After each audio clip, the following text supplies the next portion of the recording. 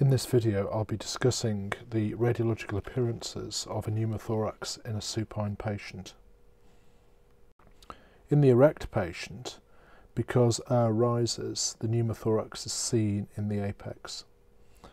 Sometimes it's difficult to see the lung edge, but you can just see the lung edge here, and then it gets obscured by the rib itself.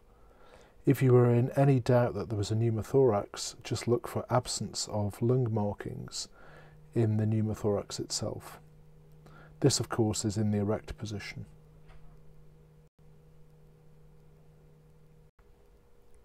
This is the same patient as in the last slide. The windows have been altered to try and increase the contrast resolution between the lung and the pneumothorax. Uh, again, you can see the lung edge it becomes visible and then it fades as it becomes obscured by the rib itself.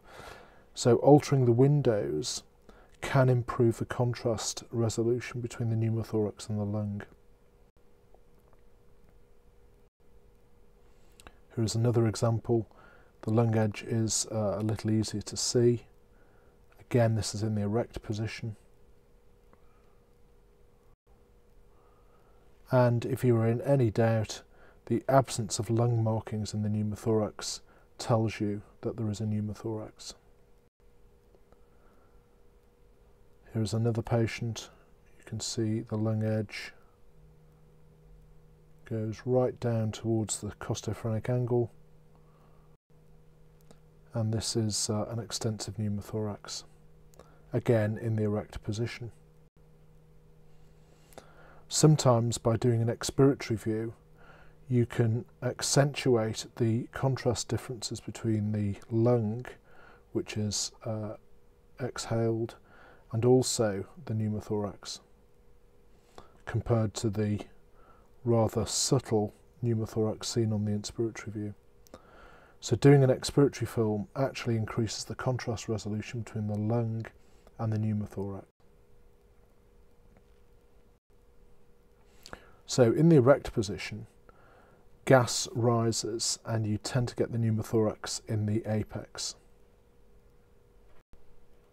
In a supine position, the pneumothorax tends to collect at the base, giving the so-called deep sulcus sign. That's where the costophrenic sulcus on the affected side is lower than the normal side.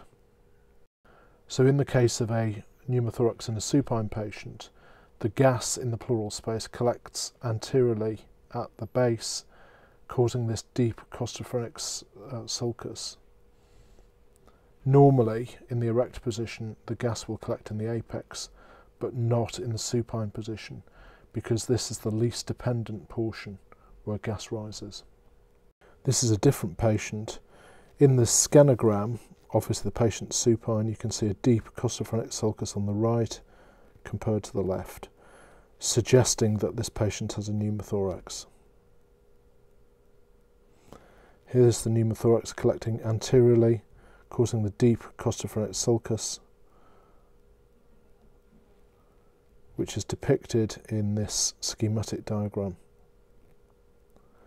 Here's the pneumothorax, uh, a shallow one at the apex, and as you'll see as we go more caudally, the pneumothorax is better seen around the lung base. And here it is, collecting at the lung base, giving the so-called deep costophrenic sulcus sign.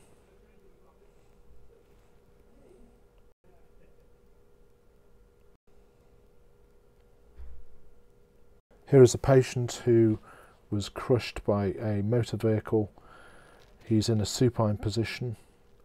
There is a deep sulcus of pneumothorax in a supine patient. Now, clearly you can see the pneumothorax here, but if this was less obvious, it would be the deep sulcus sign that tells you there's a pneumothorax. Note also the patient has a pneumopericardium, pneumomediastinum, and there's increased opacification of the lung parenchyma, which is perhaps due to contusion or maybe neurogenic pulmonary edema if there's a coexisting head injury, or in the elderly patient, do consider overzealous resuscitation.